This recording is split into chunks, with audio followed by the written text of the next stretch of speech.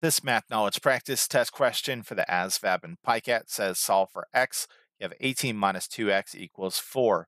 So again, on the ASVAB and PICAT, you will not have a reference sheet or a calculator, so you want to get in the habit of copying things down. In this case, we're solving the equation for x.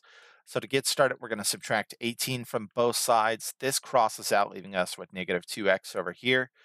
4 minus negative 18 is negative 14. To get x by itself, we're going to divide both sides by negative 2. This crosses out, leaving you with x over here. A negative divided by a negative is going to be a positive. Negative 14 divided by negative 2 is positive 7. So this one is D7.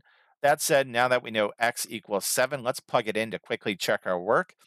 If this equation makes a true statement, then uh, we know we did it correctly. This becomes 18 minus 2 times 7 equals 4. This becomes 18 minus 14 equals 4.